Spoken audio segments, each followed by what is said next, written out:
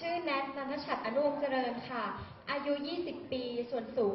165 เซนติเมตรค่ะ ขณะนี้กำลังศึกษาอยู่ชั้นปีที่ 2 คณะบริหารธุรกิจมหาวิทยาลัยเชียงใหม่ค่ะ สัดส่วนอยู่ที่ 32 26 34 ค่ะ วันนี้จะมาแสดง